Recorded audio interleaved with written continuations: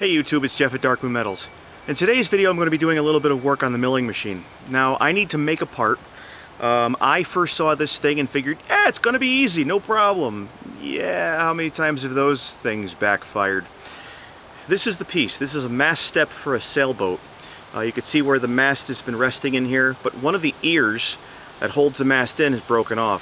So what I need to do is replicate this. And when I first saw it, I'm like, oh, this is going to be easy. All I have to do is get a piece of aluminum channel, and I'm good to go, right? Wrong. Now I got to tell you, folks, I looked everywhere trying to find a piece of channel stock that I could use that would make this project go real easy. But one of the things that I want to do is also beef up the thickness of this wall. And I couldn't find any pre-made channel that would allow me to do uh, what I needed to do to make this part. So, that's what I need to make the part out of. It's a solid billet of aluminum. And my experience with a milling machine is basically slim to none. The first thing I'm going to do is cut off enough material to make my part. I don't need to put this whole billet inside the milling machine.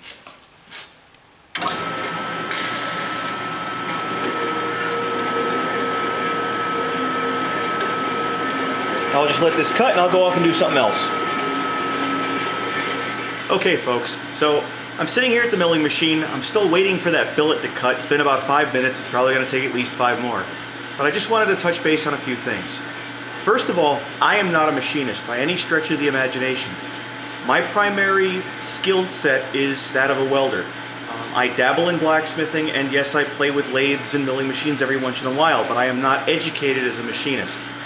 Um, if I had my way, I'd have a Bridgeport milling machine in here with a DRO, power feeds on the tables and knee. I know machines, I just don't have access to them. I'm going to be using a little Central Machinery Harbor Freight that's uh, been around for quite a number of years. I just picked this up this past year. It's come in pretty handy. Um, I don't have a lot of um, end mills and tooling for this mill yet, so this might be a little bit challenging, and I am going to be learning as I go.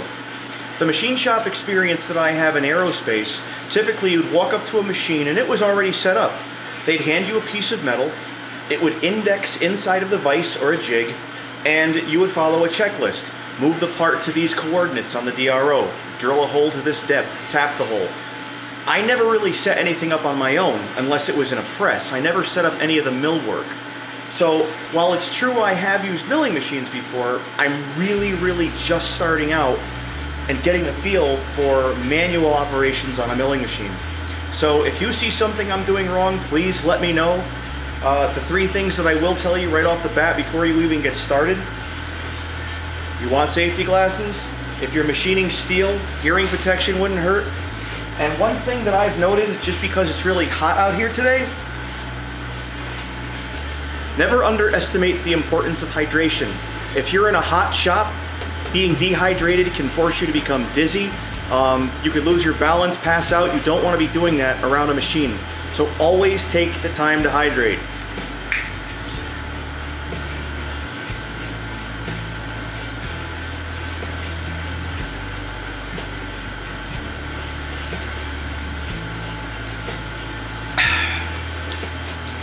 That's why I don't drink beer. It goes way too fast. The bandsaw is done chewing on the aluminum. As you can see, it's not a bad cut, it's pretty flat. But if you look at the cross section of this, you can see this dip in the top of the billet. So what I'm gonna do is I'm gonna flatten that first in the mill. That's gonna be my first operation.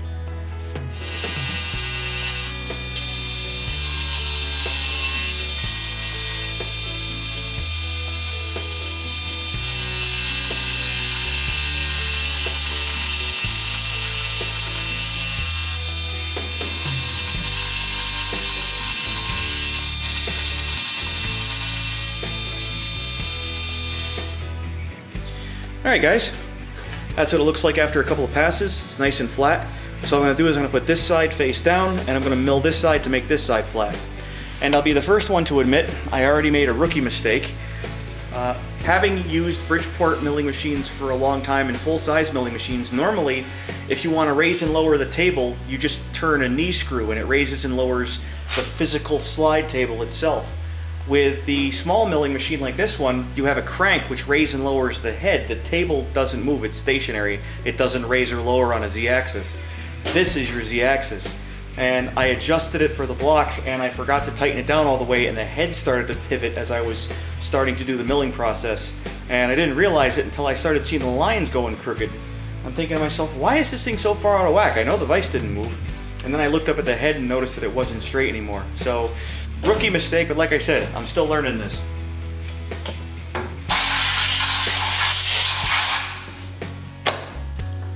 Before you load a piece that's been cut back into the vise, you always want to blow the vise out to make sure there's no chips in there. And any little burrs like this on the side of your job, you want to take those off with either a little bit of a belt sander. Um, I'm going to use a belt sander because this is aluminum.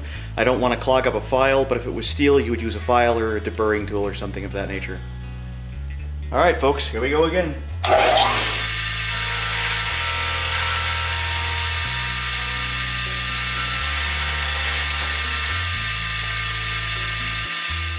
Alright YouTube, let me show you another noob mistake. And I do mean noob. It's getting kind of warm. Can you see the divots and the height changes in that? Well, let me explain how that happens. As I'm milling, this end of the stock is narrower in the vise than this end. And since the jaws close evenly, I'm getting a good bite on this end, but not down here. And what was happening is that it was causing the material to actually lift up out of the vise on an angle as this was machi uh, machining and it was going deeper and deeper into the material, which is something I don't want. So I really don't know how I'm going to fix that right now. Uh, the only thing I could think of is I'm going to switch the material around in the vise and just keep the machine traveling in this direction. So instead of having it wanting to lift up, it'll be pushing down on this side and uh, this will be the tight end in the vise. Once I'm done machining this face, I can flip it over and I can straighten out the side so it'll sit in the vise nice and neat.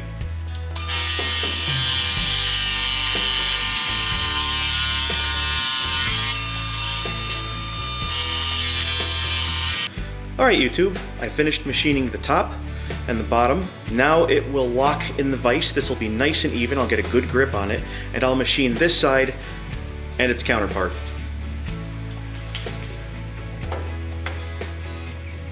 Alright YouTube, I'm on the last side. Five out of the six sides are done. This is the last one. Once this is squared off, I can start doing a little bit of my layout. Now I just want to mention that this is taking me uh, a lot of time compared to somebody who has experience. I'm being very slow, very cautious, and I was really feeding the material through here very, very slowly because I'm not sure what the uh, capabilities of this cutter are. Um, I know it can machine steel, so I don't have a lot of issues with aluminum. I'm not worried about it in that aspect, but you want to try to get your feed rates somewhat consistent. You want to have the best cut possible. And as it turns out, I found out that if I speed up just a little bit, it doesn't give that much time for the aluminum to heat up and it actually cuts better.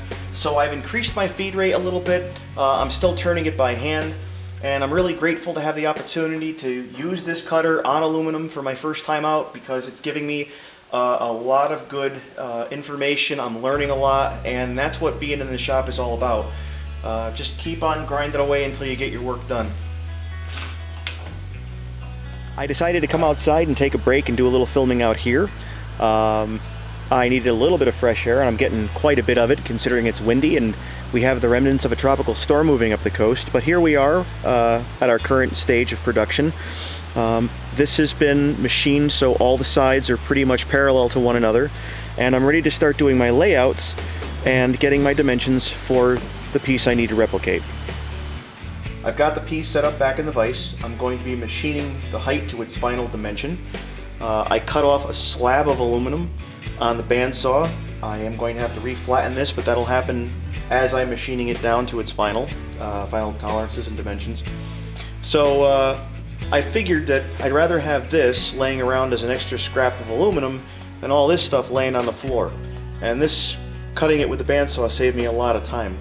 Uh, I did make this block a lot bigger than I needed to at first because I really didn't know what to expect with this cutter and I wanted to leave myself a lot of extra um, a lot of extra meat on the part just so I can experiment and if I had a couple of failures it wouldn't necessarily uh, cost me the entire piece.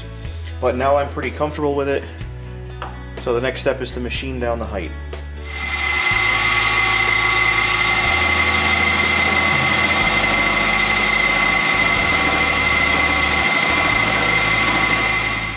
Okay guys, here's where it starts to get interesting. I need to do a little bit of math.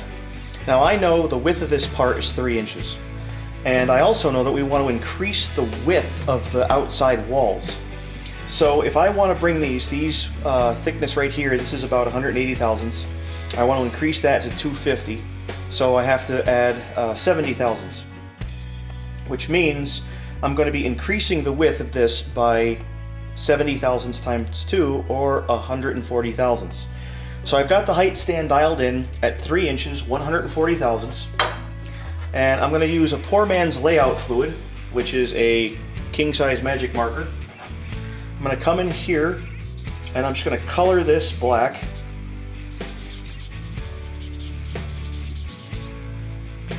Like so. And I'm going to scribe a line on that surface. Now, if you do have a height stand and you're using a granite block, remember to move the stand, not the work. You don't want to take any chances of marring the granite.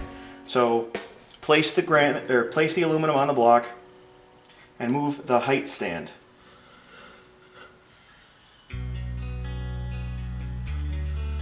And I usually like to make two passes. So when I'm done, I think that line shows up pretty well. So now I'm going to mill it down to that line. Alright YouTube, before I start this cut, I want to clear something up that I've said in other videos. You'll hear me from time to time say, buy good quality tools, get a halfway decent machine, get something you know that's going to suit your needs.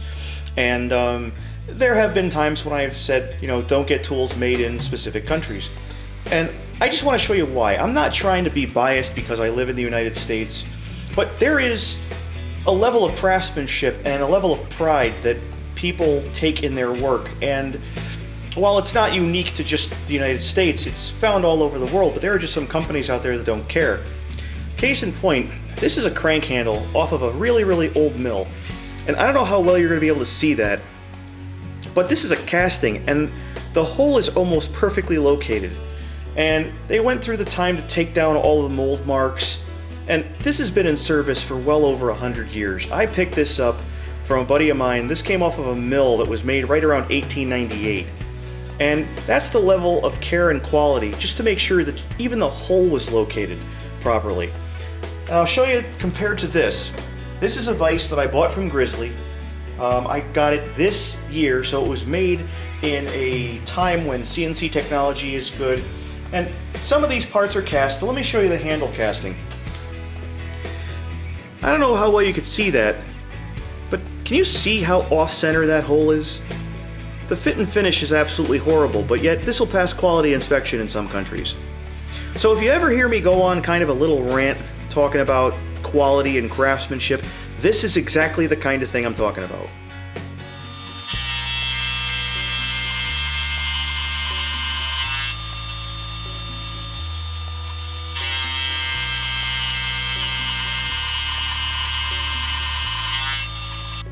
YouTube, have you ever had one of those moments where you've wanted to pull your hair out?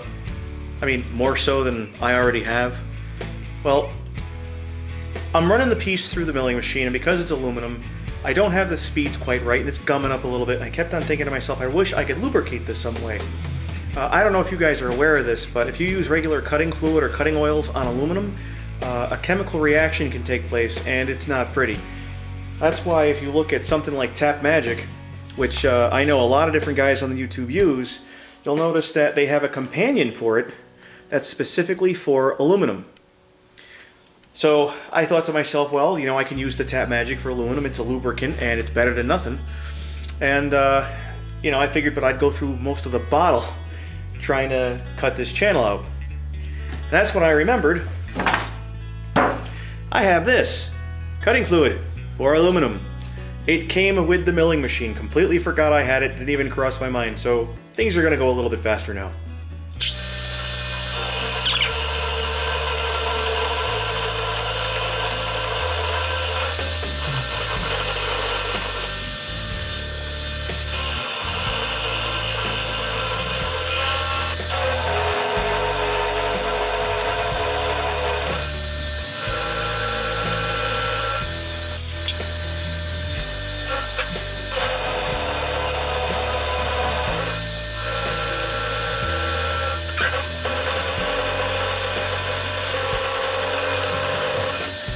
By now you may have noticed that I'm only milling in one direction. I'm only taking material off going one way. Now if you start delving deeper into the world of milling machines, you'll know that there's conventional milling and I believe it's climb milling. Um, I don't know the difference between the two. I know it has to do with tool rotation, the direction the piece is traveling in versus the, the cutting tool, but um, please don't ask me. I truly am dyslexic. Uh, I keep forgetting, I can't keep them straight in my head, but I know that the direction I'm traveling in, the machine itself feels a heck of a lot better. There's a lot less vibrations in the controls. Um, I'm getting a halfway decent cut, so I'm just going to keep continue doing what I'm doing. Alright YouTube, here we are at the end of the milling process. This is what I was working from, this is what I ended up with out of that big block. Uh, I'm glad that this is aluminum and not something harder. I only had one end mill, and even so I had to take just pass after pass after pass, and that's that has a lot to do with an experience, and um, you know, I'm just being cautious because I don't want to mess this up and have to start over again. The slots that are in this I'm going to probably cut out with a jeweler's saw. Um, I don't have an end mill that's the appropriate diameter to come in here and cut this out in a single pass and because I don't have a digital readout on the mill I really don't trust myself just yet to come in here and do a multi-pass to um, to open this up to the appropriate dimension so I'm going to use a jeweler's saw for that and really take my time and make sure that that part's correct but as you can see I did thicken the walls. Profile's almost exactly perfect to what it was originally. Um, these rounded curves, I'm just going to take that on the belt sander. Uh, you could tell that this has some kind of a radius in here. I'm just going to come in here by hand. Uh, I've got the 2x72 belt sander, which I can go into the slack of the belt and put that bevel on. Um, that radius isn't critical, but that's where I am right now. And I'm going to stop here. I'm going to work. And then tonight, when I come back, I'll finish the project. Um, I have about an hour to kill before I actually need to be at work, but uh, I believe I mentioned this in another video. When you get to the point where you have to stop and uh, you have a, you know, a point in the project where you could take a break, do it. Um, don't rush to try to get something else done. Don't rush to try to get to the next step because that's typically the point in time when you start to mess things up. And to screw this up right now after all of the work that I put into it and just the hours so far that's in this, uh, I'm not willing to chance that. So I will see you when I get back from work tonight. Alright YouTube, it's the second day into the project and normally it would not take me this long to do something like this, but uh, I had other things to do and I also have a night job now, just trying to make a couple extra bucks. But um, I went in with the jeweler saw this morning and I cut the channels in, as you can see. The only thing that's left to do is I need to drill four holes and this project's done. Alright YouTube, that's pretty much the video, but before I leave I'll show you the end results. Spin that around.